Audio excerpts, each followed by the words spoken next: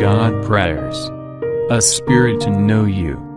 Gracious and Holy Father, please give me intellect to understand you, reason to discern you, diligence to seek you, wisdom to find you, a spirit to know you, a heart to meditate upon you, ears to hear you, eyes to to see you, a tongue to proclaim you, a way of life pleasing to you, patience to wait for you and perseverance to look for you.